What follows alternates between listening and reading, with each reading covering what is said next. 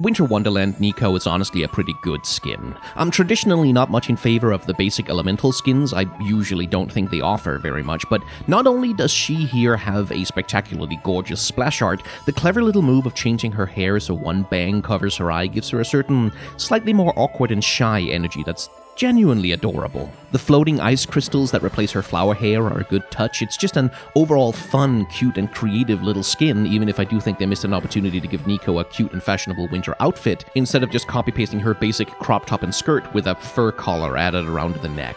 But Winter Wonderland's big problem really is that it's just not better than Star Guardian. It's not better than Shan Hai Scrolls, and it's not better than Bewitching, so by default, it has to be the worst.